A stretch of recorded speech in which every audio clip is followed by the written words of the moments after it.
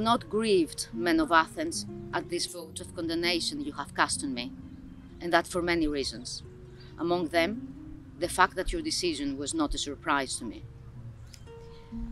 These are among the final words of the great philosopher Socrates, who in 399 BC was condemned to death by the Athenians on the charges of impiety against the gods and of moral corruption of the youth of the city. Socrates is doubtlessly the most debated and written about Athenian. A highly controversial personality, a larger than life character who continues to fascinate and inspire, not least because of his iconic and dramatic death.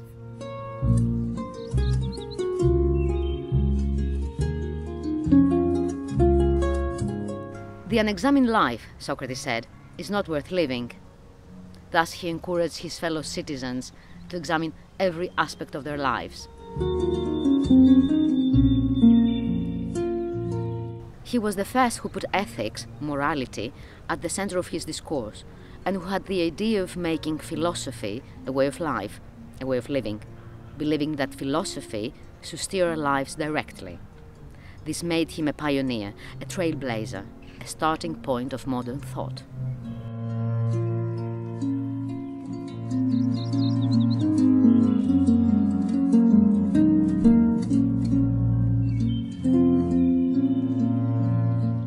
There are right and wrong actions, or better said, there is a good and a bad way to be a person and to live your life. So, through your character and your knowledge of life, you evaluate anything you see as good or bad for humanity. And through this, you live and you act accordingly.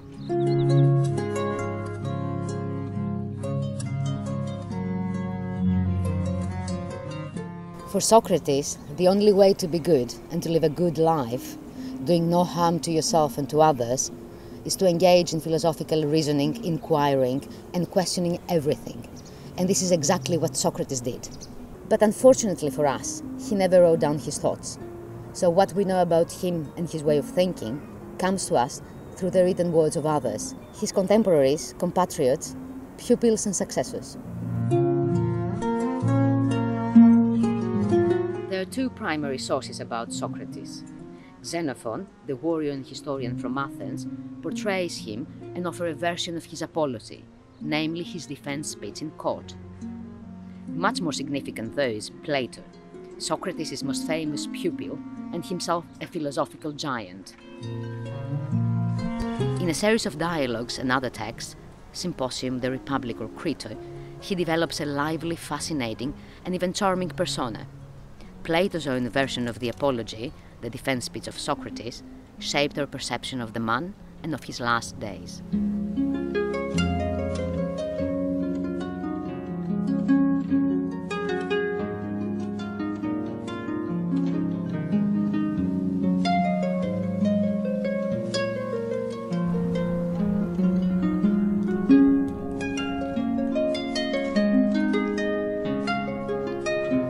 So, who is this Socrates really? The man who was both loved and hated so much.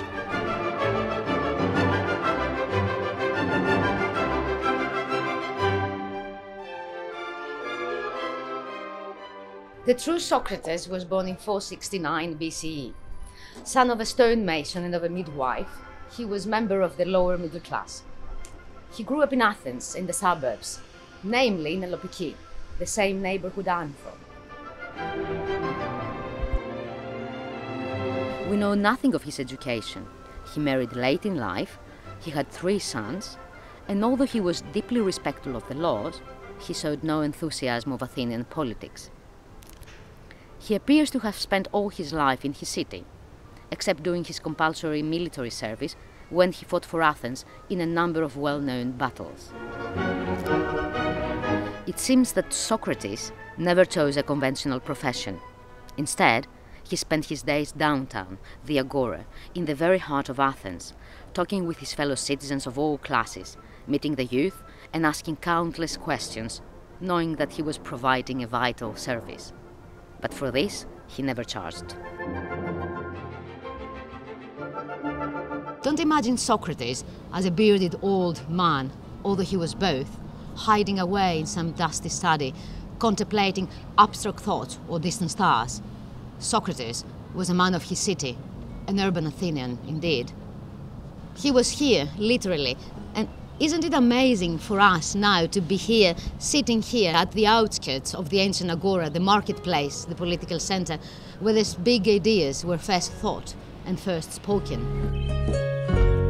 While in the city, Socrates' life coincided with the golden age of Athens, with its greatest glory and its deepest fall. Some would argue that his execution defines that fall. Death, disease, a long, bloody, and eventually lost war, and the overthrow of democracy brought to the city an unparalleled crisis. Socrates was mocked in public as a charlatan, running around wearing no shoes, or as a crazy bat. He was perceived as annoying and as a bad influence on the city's fighting force. Certain influential people saw his question as a threat to the city's values and its democratic order, while others saw his way of thinking as the very expression of the Athenian freedoms.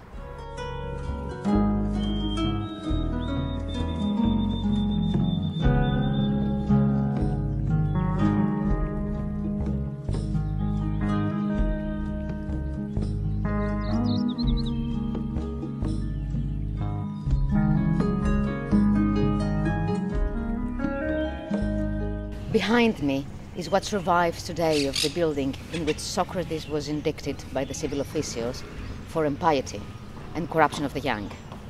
And as this is the place that Socrates spent all his life asking questions, I think it's appropriate for us to do the same.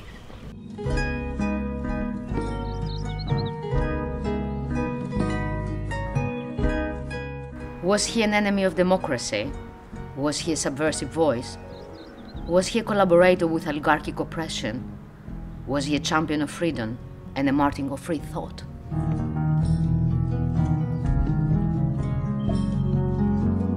The elephant in the room is the question of his politics, a topic that was avoided, both sides, even during his trial.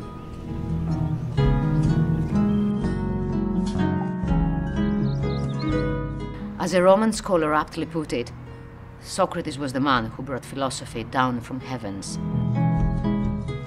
He was the man who claimed that all he knew was that he knew nothing. The man who left no writings whatsoever, but rather a mist of questions around his name and his actions, but who remained appealing, an unfailing inspiration for so many people over the centuries. So, what remains for us to say about Socrates is that we know nothing, or perhaps that we know a little.